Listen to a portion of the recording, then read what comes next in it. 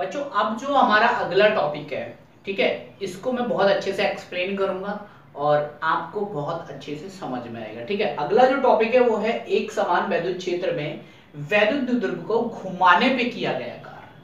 अब देखो, मान लो कोई वैद्युत द्विध्रुव जो है, वो इस तरीके से रखा हुआ है, ठीक है, जो भी आपका डाइपोल है, वो इस तरीके से रखा हुआ है, इस पोजीशन में रखा हुआ है, ठीक है। मान लो मैं यहाँ पर बना देता हूँ, यहाँ पर एक जो डाइपोल है आपका माइनस क्यू और प्लस क्यू वो इस पोजीशन में रखा हुआ है, ठीक है? और ये क्या चल रहा है? इलेक्ट्रिक फ़ील्ड चल रहा है, ठीक है? वैद्युत क्षेत्र चल रहा है। इसी डायरेक्शन में क्या रखा हुआ है? आपका वैद्युत द्विध्रुव रखा हुआ है। इसके बीच की दूरी कितनी? टू ऐसे रखा हुआ है, ठीक है? अब इस पोजीशन में रखा हुआ है तो हम क्या कर रहे हैं? इसको ऐसे करके यहाँ पे कुछ फोर्स लगा रहे हैं और यहाँ पर कुछ फोर्स लगा रहे हैं, ठीक है? तो इसको इस पोजीशन में लेके आ रहे हैं, ऐसे घुमा रहे हैं, इस तरीके से, ऐसे घुमा रहे हैं, ठीक है?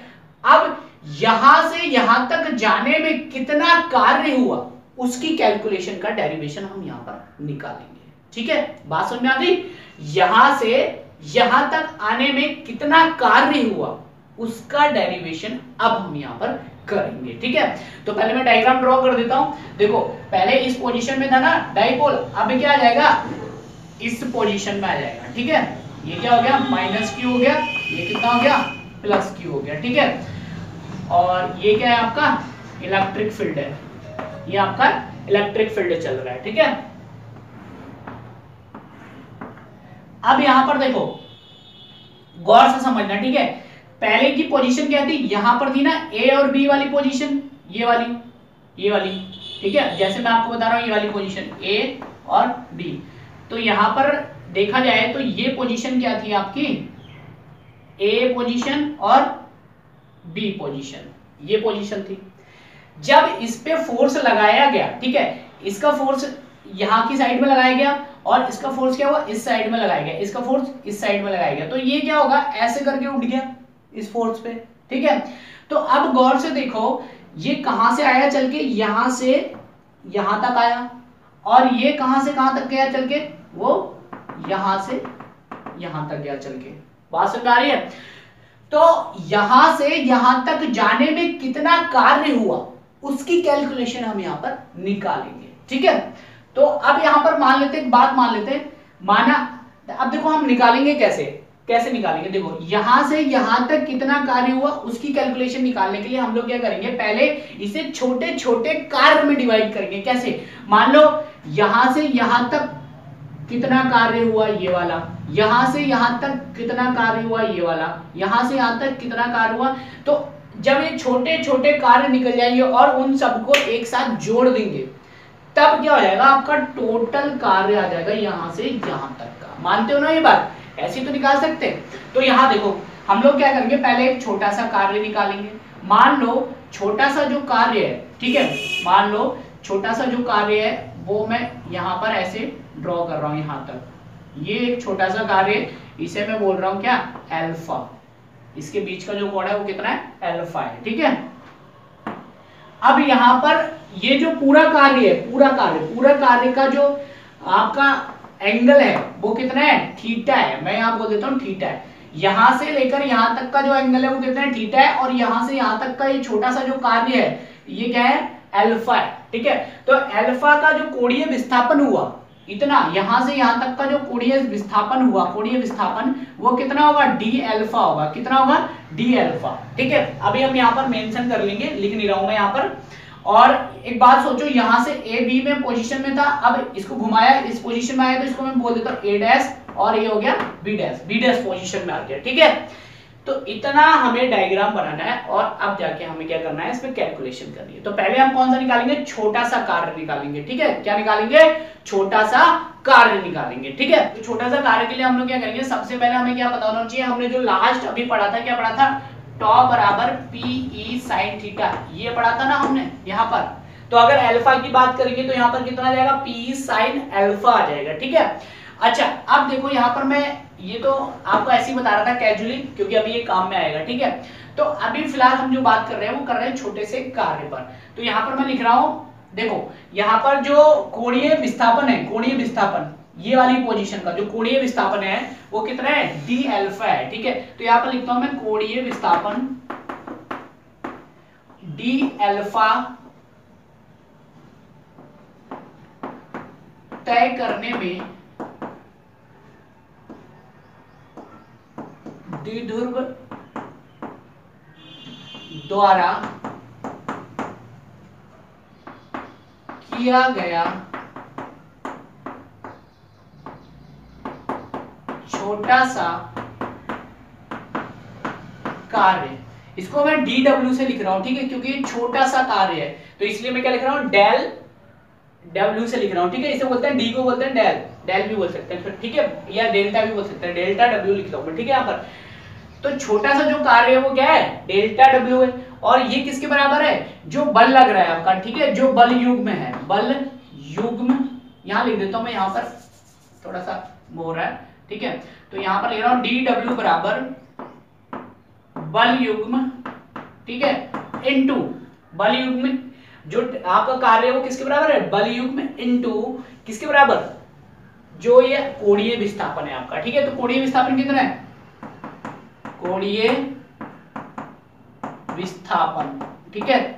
यो अब देखो बच्चों, ये बात हमने लिख ली। छोटे से कार्य हम जब निकाल रहे हैं तो क्या लिख रहे हैं? डी डब्ल्यू बराबर बल युग्म इंटू कोणीय विस्थापन। अब देखो बल युग्म कितना था? हमने लास्ट जो डेरिवेशन किया था, उसमें बल युग्म कितना निकाला था? टॉ बराबर पी साइन थीटा ये निकाला था ना हमने? लेकिन यहाँ पर एंगल कितना चल रहा है हमारा? हम तो इतने छोटे से कार्य के लिए निकाल रहे हैं तो एंगल कितना चल रहा है? एल्फा चल रहा है। तो जो हमारा बल युग्म होगा, वो ये नहीं हो सकता बच्चों। पीई साइन एल्फा ये होगा ना? उसके बाद कोणीय विस्थापन कितना है? डी एल्फा है। यहाँ देखो, कोणीय विस्थापन छोटा सा कितना है? डी एल्फा है, ठीक है? आप पहले एक बात समझ लो, आप क्या निकाल रहे हो अभी? ये छोटा सा चीज़ निकाल रहे हो, ये छोटा सा कार्य निकाल रहे हो यहाँ से यहाँ तक का, ठीक है? तो अभी जितने भी एंगल लोगे, वो छोटे से इस खंड के लिए लोगे एंगल ठीक है? तो डी डब्ल्यू बराबर कितना? डी डब्ल्यू बराबर P E sine alpha D alpha ये बना हमारा छोटा सा कार्य। जो आया, ठीक है? अब गौर से देखो, ऐसे छोटे छोटे कार्यों को मिलाकर, अगर मिला दिया जाए तो क्या हो जाएगा? ये बड़ा कार्य हो जाएगा, है ना? तो हमें क्या करना है यहाँ पर? हम क्या करेंगे? ऐसे एक साथ तो मिला नहीं सकते ना, ऐसे करके? तो हम लोग क्या करेंगे, यहाँ पर समाकलन का सहारा लेंगे। तो समाकलन में अगर हम लिमिट लगाकर इसे एक बार में निकाल दें तो पूरा कार्य निकल आएगा, ठीक है? तो आप गौर से देखो, मान लो इनिशियल एंगल यहाँ पर कितना होगा? जब इस पोजीशन में ए बी पोजिशन में कितना होगा, इसके बीच का एंगल ज़ीरो होगा, है ना? और जब यहाँ पर पहुँच गया A B A dash B dash की पोजीशन में तो ये जो एंगल बढ़ के कितना हो गया? थीटा हो गया ना ये एंगल थीटा ठीक है? जब ये एंगल थीटा हो गया तो लिमिट में क्या ले सकता हूँ? ज़ीरो से थीटा ठीक है? हमें पूरा कार्य कितना निकालना है? ज़ीरो से थीटा तक का। तो अब देखो, मैं लिख रहा हूँ क्या? यहाँ पर। द्विध्रुव द्विध्रुव की स्थिति ए बी से ए डैश बी डैश में घुमाने में किया गया कुल कार्य। अब हम यहाँ पर क्या लेंगे? बड़ा डब्ल्यू लेंगे, ठीक है? क्या लेंगे यहाँ पर? बड़ा डब्ल्यू लेंगे। अब यहाँ पर हमें छोटे छोटे कार्यों को मिला के क्या बनाना है? एक बड़ा कार्य बनाना है। तो उसके लिए हम लोग क्या करेंगे? यहाँ पर इंट्रीगेशन करेंगे साफ़ सीधी बात, ठीक है? तो यहाँ पर कितना हो जाएगा? लिमिट क्या लेंगे? ज़ीरो से थीटा तक की लिमिट, ठीक है? हमें यहाँ से यहाँ तक जाना है तो ज़ीरो से, ज़ीरो एंगल यहाँ पर था और थीटा पूरा यहाँ पर है तो ज़ीरो से थीटा तक की लेंगे। अब, छोटा सा कार्य कितना था? डी डब्ल्यू था हमारा, यहाँ पर। ये था ना छोटा सा कार्य डी डब्ल्यू ठीक है? तो इसको हमने यहाँ पर रख दिया। अब इसको थोड़ा सॉल्व कर लेते हैं। तो यहाँ पर देखो, ज़ीरो से थीटा डी डब्ल्यू की वैल्यू कितनी? P E sine alpha D alpha ठीक है? अच्छा जिन बच्चों को इंटीग्रेशन नहीं आता मैं समझा देता हूँ थोड़ा सा। देखो यहाँ पर साइन, आप देखो एल्फा है ना एल्फा डी एल्फा तो इसके सापेक्ष हो रहा है, क्या चीज़? समाकलन। तो जितने भी पद हैं, जिनमें अल्फ़ा लगा हुआ है, उनको तो अंदर रखेंगे, बाकी जो होंगे वो कांस्टेंट कहलाएँगे, वो बाहर आ जाएँगे, ठीक है? तो पी जो होंगे वो बाहर आ जाएँगे तो यहाँ पर कितना आ जाएगा? P E P E integration zero to theta sine alpha D alpha अब देखो यहाँ पर जो इंटीग्रेशन होता है, समाकलन होता है, उसमें साइन थीटा की जो वैल्यू होती है इंटीग्रेशन करने पे, वो होती है माइनस कॉस थीटा तो यहाँ पर साइन अल्फ़ा की जो वैल्यू होगी, वो माइनस कॉस अल्फ़ा हो जाएगी, ठीक है? तो डब्ल्यू की जो वैल्यू निकल के आएगी, वो आएगी पीई पीई और लिमिट लगेगी ऊपर से, ठीक है? तो साइन की कितनी वैल्यू कॉस माइनस का कॉस अल्फ़ा ज़ीरो से थीटा ये बन गई वैल्यू ठीक है? तो इसको अगर हम सॉल्व करेंगे तो इसमें वैल्यू लगाते हैं तो एक बार थीटा लगाएँगे, एक बार क्या लगाएँगे? ज़ीरो लगाएँगे, ठीक है? तो अब देखो यहाँ पर रखते हैं। इसको अगर सॉल्व करेंगे तो ये बन जाएगा P E minus cos theta minus cos ये एक माइनस ये है और एक माइनस ये है तो ये कितना हो जाएगा? Minus minus plus cos zero ठीक है? कितना आ गया? कॉस ज़ीरो एक बार थीटा को पुट किया है हमने और दूसरी बात क्या किया है? ज़ीरो को पुट किया है। ठीक है? तो ये हो गया। और ये हो जाएगा डब्ल्यू बराबर पीई माइनस कॉस थीटा तो ऐसे ही रहेगा। ठीक है? Minus cos theta. और ये कितना जाएगा? Plus one. कॉस ज़ीरो की जो वैल्यू होती है वो कितनी होती है? वन होती है। ठीक है?